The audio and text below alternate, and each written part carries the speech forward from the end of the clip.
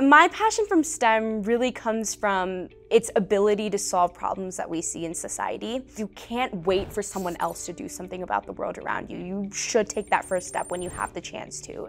My name is Gitanjali Rao. I'm 16 years old and I go to STEM School Highlands Ranch.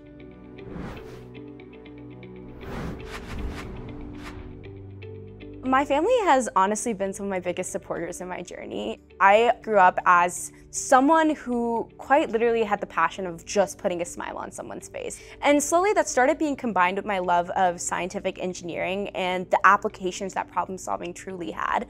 I run innovation workshops for students across the globe. I've worked with over 68,000 students across 43 countries and six continents. What I've learned is Every new place that I go, every student comes up with an idea that's different, unique, and showcases them. It helped me recognize that everyone has the potential to solve global problems. They just need to be motivated and they just need support and they need fostering with their ideas.